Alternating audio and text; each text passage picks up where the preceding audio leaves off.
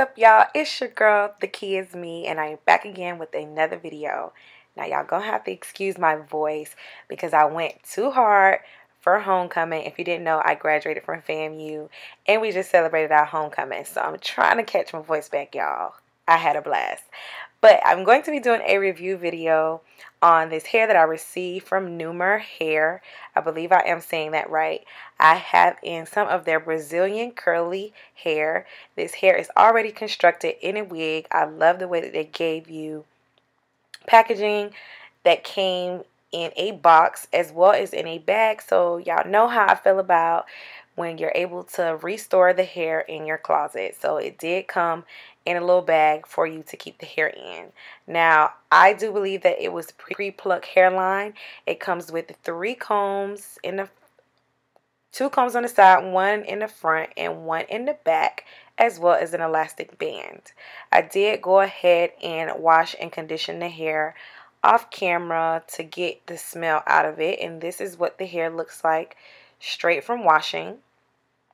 So like I said before, this is a pre-pluck hairline. I did not pluck the hairline at all. So here I'm just going to take some of my foam. You can kind of use any foam that you have any styling foam that you have and I'm going to go ahead and lay my edges down. Now what I do is I take the styling foam to wet the hair and then I take some either some Eco Styler gel or some Got2b glue to actually secure the baby hair.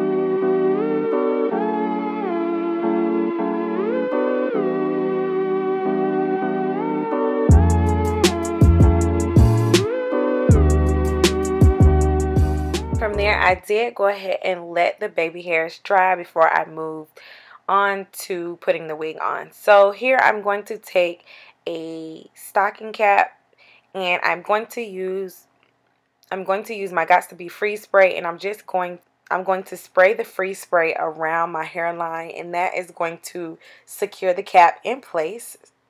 So when I get ready to cut it, it will be it will fit the shape of my head and I'm going to use a blow dryer on cool and I'm going to dry that.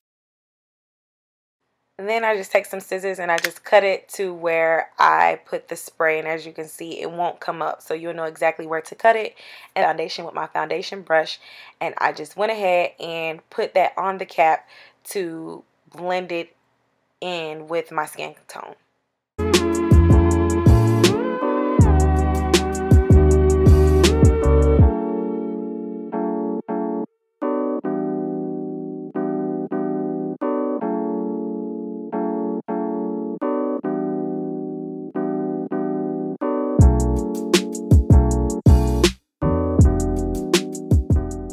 Now I'm going to put the wig on to see how it is looking. And y'all, when I tell y'all, I was so excited putting this on. This is the first time I've ever had a frontal look like this. Like, I'm still shocked that I did it. Like, did I do that or what? Somebody let me know down in the comment section. But I'm just going to go ahead and take my scissors and I'm going to cut around the edges.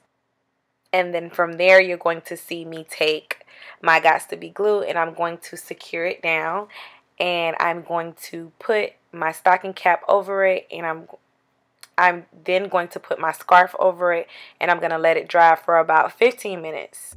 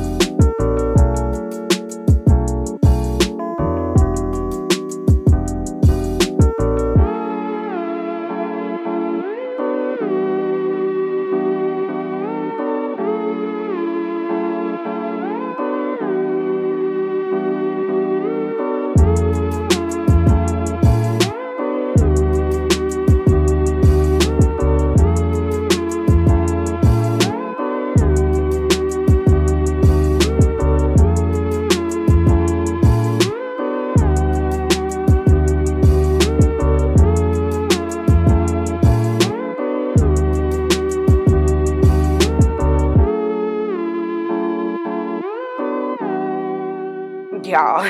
Just look at my reaction taking this off. Your girl did that, okay? Practice, practice, practice. That's all I can say is just keep practicing.